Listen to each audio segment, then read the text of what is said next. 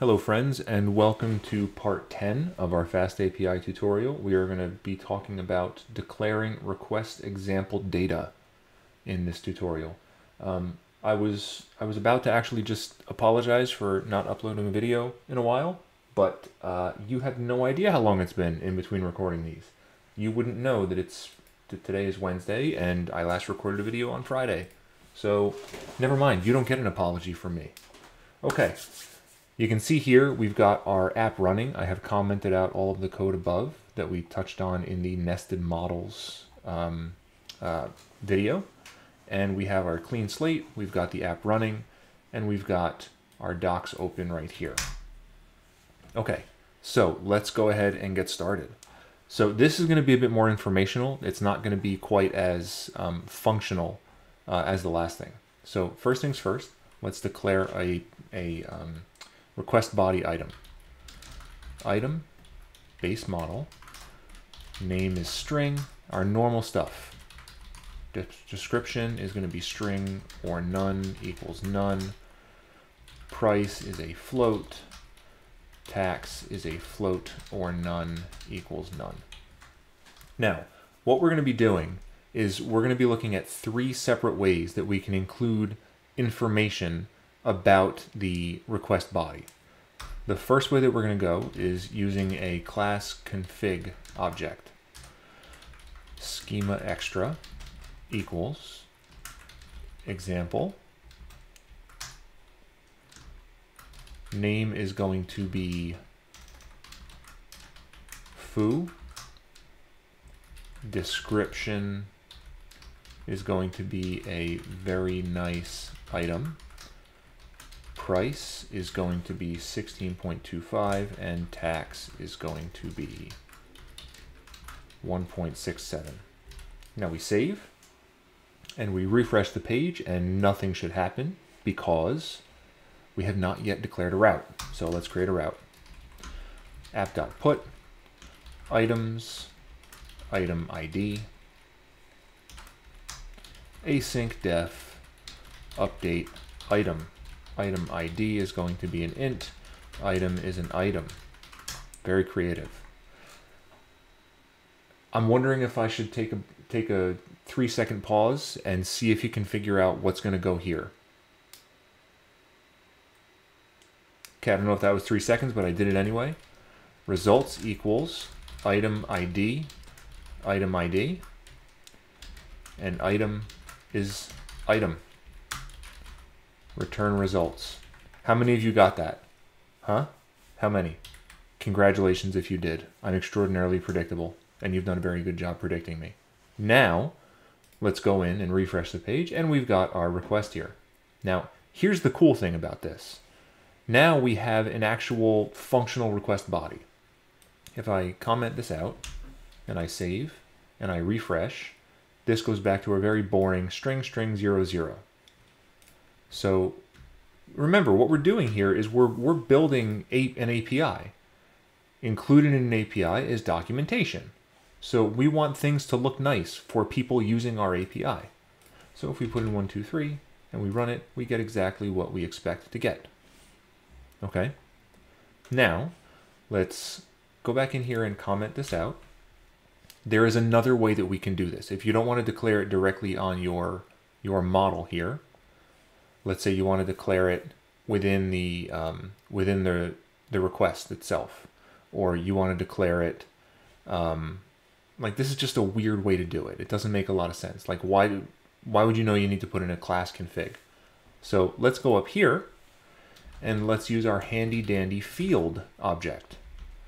Now this has an option example equals foo. This we'll say field none example equals a very nice item.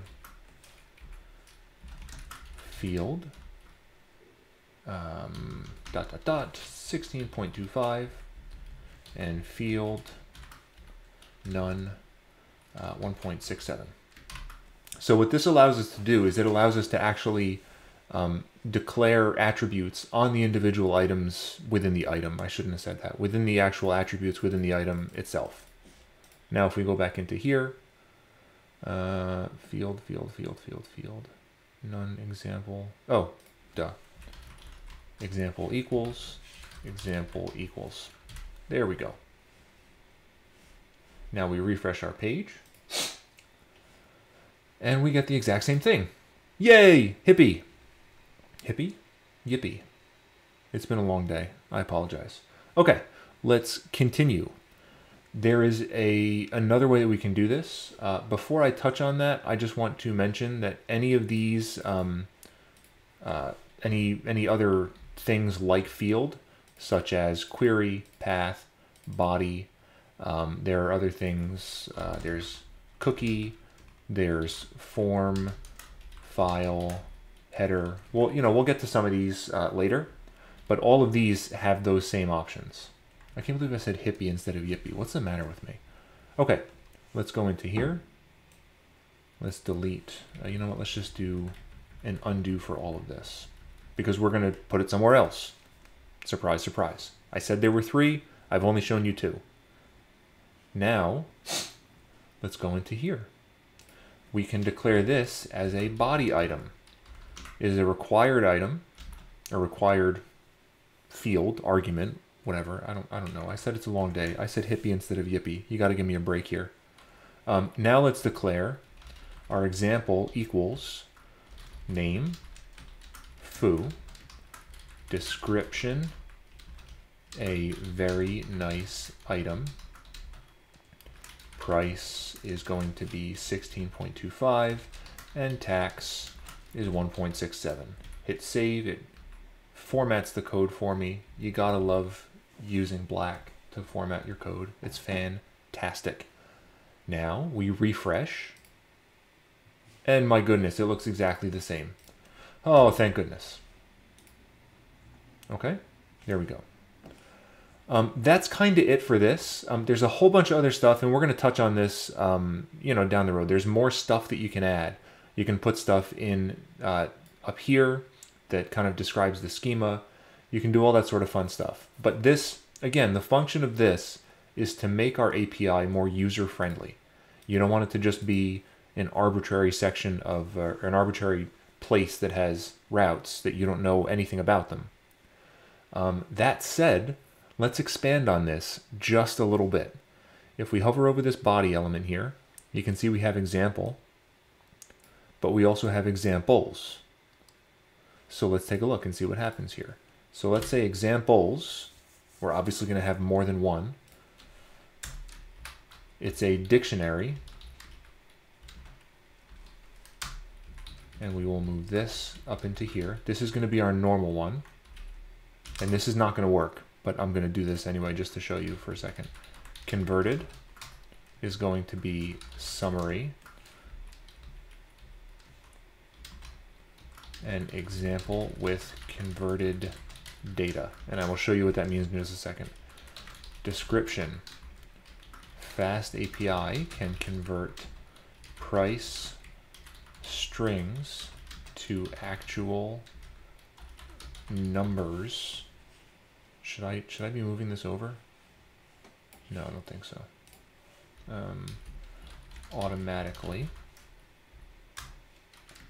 value is going to be name bar price and we'll make this a string 16.25 save now you'll notice there's something going on here. So normal is set like this, converted is set like this. And this is this is what's going to really screw us up here. Let's do one more. Invalid. Summary invalid data is rejected with an error. Value name Baz, Baz, Baz, I think, I think. Price 16 point, point two five. Save, refresh. Hey, we got it. You can see here, this just says normal. We go into an example with converted data, try it out. One, two, three, and notice this is a string, but our little description here says that it can convert price strings to actual numbers automatically. I should have probably written automatically. Example, execute, and there we go, it converts it. Fantastic.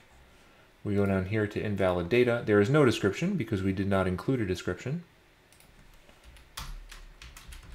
Description, hello YouTuber, YouTubers, hello YouTubers. We refresh. Um, we go to invalid, hello YouTubers. Now let's go up into normal. Okay, try it out. And you can see here, this is just kind of, it's, it's, it's kind of weird, right? It's just a little, a little strange. And notice, description is showing right down here a very nice item.